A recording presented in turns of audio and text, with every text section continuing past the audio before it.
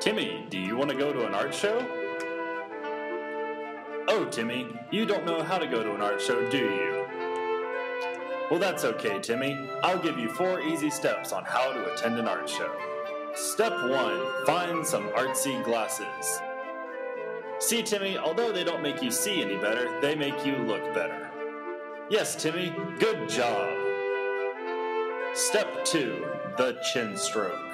Well, Timmy, although you don't have any facial hair, it's of the utmost importance that you pretend you do. This is accomplished by stroking your chin with your thumb, index, and middle finger. It does not matter which hand you use, it's all relative.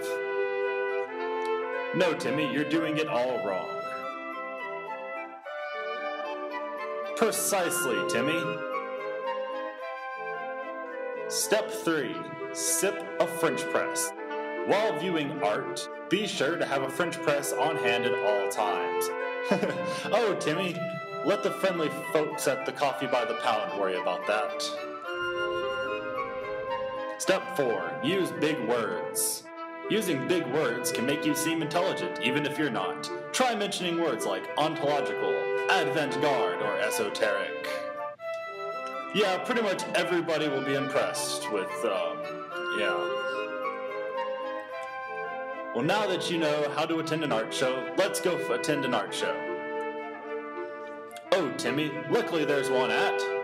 Toccoa Falls College, located in the Student Center from February 6th through the 10th. Precisely, Timmy.